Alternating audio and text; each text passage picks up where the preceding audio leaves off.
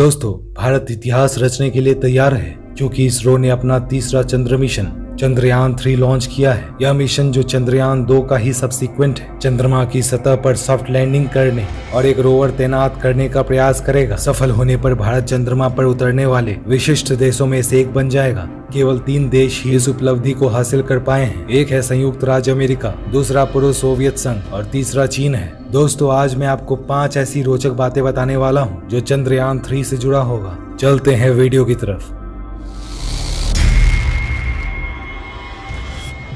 Chandrayaan to के बाद Chandrayaan three अगला मिशन है, जिसका लक्ष्य सुरक्षित रूप से उतरना और चंद्रमा की सतह का पता लगाना है। इसमें एक लैंडर और रोवर शामिल है। जिसे S T S C S H A R Sriharikota से एल वी एम थ्री नामक रॉकेट द्वारा अंतरिक्ष में लॉन्च किया गया था। चंद्रयान टू, जिसे 2019 में लॉन्च किया गया था। इसमें एक ऑर्बिटर, एक लैंडर और प्रज्ञान रोवर शामिल थे। दुर्भाग्य से एक सॉफ्टवेयर फॉल्ट के कारण विमान के उतरने से कुछ ही मिनट पहले सभी संचार टूट गए। यह अपने रास्ते से भटक गया और दुर्घटनाग्रस्त हो गया। हालाँकि यह पूरी तरह विफल नहीं था। ऑर्बिटर अभी भी कार्यशील है और संगठन को मूल्यवान डेटा प्रदान करता है। G S L V mark three heavy lift launch वाहन, जिसे बाहुबली रॉकेट के रूप में भी जाना जाता है, चंद्रमा लैंडर विक्रम का समर्थन करेगा। जी एस एल वी जिसे अब लॉन्च व्हीकल मार्क थ्री के नाम से भी जाना जाता है, जो कि तैतालीस दशमलव पाँच मीटर लंबा है। अंतरिक्ष यान 40 दिनों से अधिक की यात्रा के बाद तेईस अगस्त को चंद्रमा पर उतरने वाला है। भारत पहले भी सफल चंद्र अभियान चला चुका है। 2008 में इसरो ने भारत का पहला चंद्र मिशन, चंद्रयान वन लॉन्च किया, जो एक बड़ी सफलता थी और जिसके परिणामों ने पूरी दुनिया को चौंका दिया।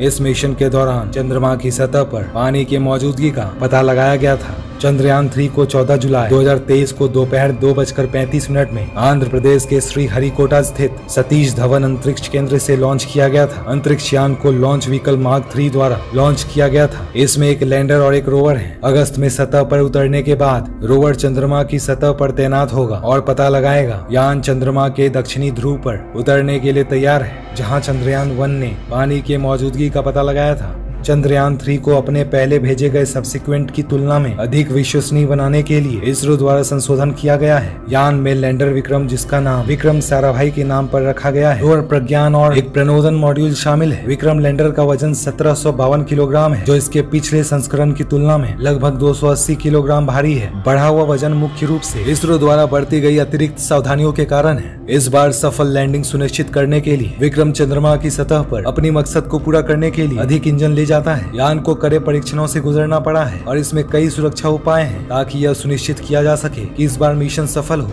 उम्मीद करता हूँ आपको ये वीडियो पसंद आई होगी। मिलता हूँ आपसे एक शानदार वीडियो के साथ। तब तक के लिए गुड बाय।